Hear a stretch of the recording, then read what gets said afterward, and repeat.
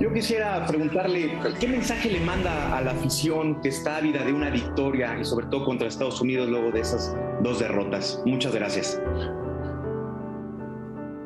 No, a la, a la afición le digo que nos siga apoyando, que el equipo es puntero y con muchas chances de clasificar. la verdad es que yo no, no me tomo las cosas en forma personal porque mi función es conducir un equipo y yo lo, tengo, lo que tengo que velar es por el, bienestar de, mis jugadores y, del equipo y tomar las mejores decisiones. Cuando uno lo toma como algo personal corre el riesgo de no tomar buenas decisiones, así que este es un partido muy importante con un rival clásico.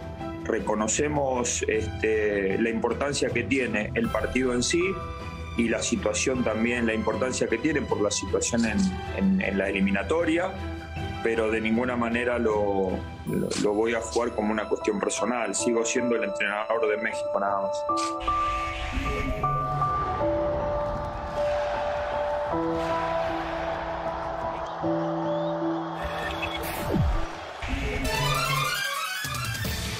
Hola, ¿cómo están? Muy buenas noches. Bienvenidos a la última palabra. Jueves 11 de noviembre del 2021. Con mucho que platicar. Sigue rodando el balón en todas partes del mundo. Eliminatorias rumbo a Qatar. Evidentemente, pues eh, estaremos hablando de lo que pasa en nuestra en la CONCACAF. Escuchaba al Tata Martino, el director técnico de la selección mexicana. Eh, tal vez algo, algo diferente que en otras conferencias de prensa. Eh, a lo mejor no tan efusivo, algo cabizbajo. Normalmente el Tata es un tipo no tan expresivo, pero hoy en particular se le notaba distinto eh, a la primera pregunta que le hacía nuestro compañero Carlos Rodrigo Hernández de, la afición. Bueno, pues yo esperaría un poco más de, no sé, de ánimo, que contagiara otra cosa. Eh, no lo vi, no lo vi, pero todo tiene una explicación. Ahora le voy a preguntar a Rubén Rodríguez qué pasó en esa conferencia de prensa, medio extraña, porque de verdad no, no, se le veía, se le veía algo distinto al técnico de la selección mexicana. Eh, estaremos hablando, por supuesto, de lo que dijo el técnico de Estados Unidos, Berhalter, también Tyler Adams, a pocas horas, sí, a pocas horas de que México enfrente a su clásico rival. Y la sanción del Tuca Ferretti, ¿qué les pareció a los compañeros?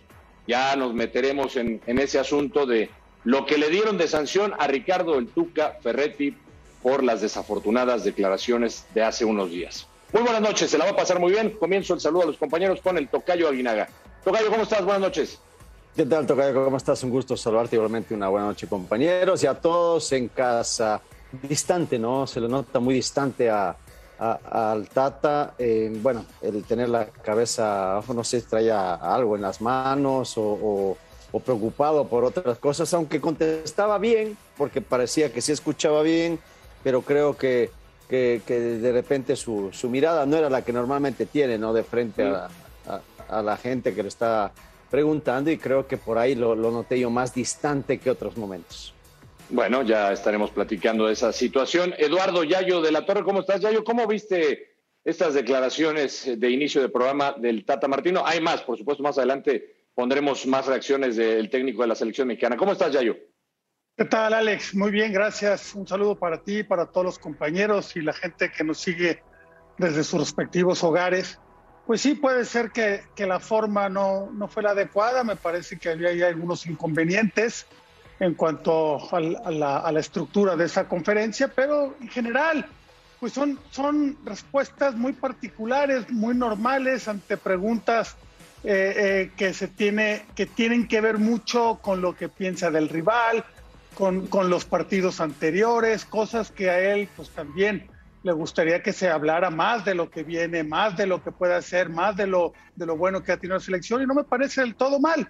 Pero bueno, este, entiendo que, que, a ti, Alex, que eres muy puntilloso, este, le encuentres muchos peros al asunto.